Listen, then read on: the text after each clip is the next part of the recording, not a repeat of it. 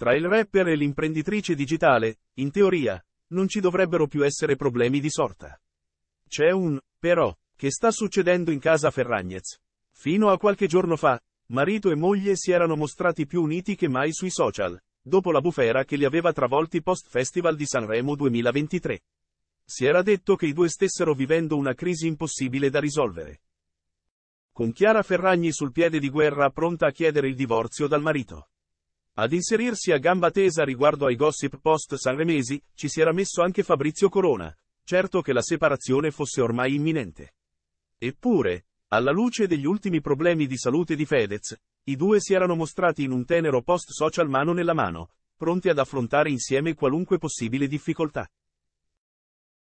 Tutto risolto, dunque, il sereno è tornato dopo la presunta tempesta.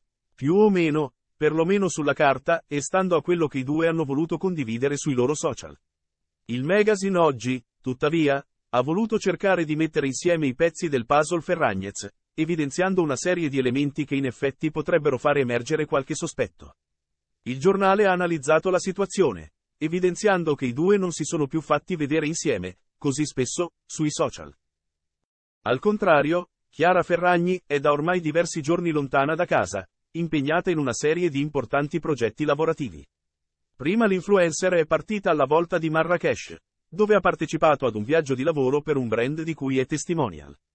Poi, dopo i rispettivi compleanni ravvicinati dei figli Leone e Vittoria, la Ferragni è partita alla volta del Sudafrica, dove ha passato qualche giorno di relax in compagnia di alcuni amici, tra un safari e l'altro.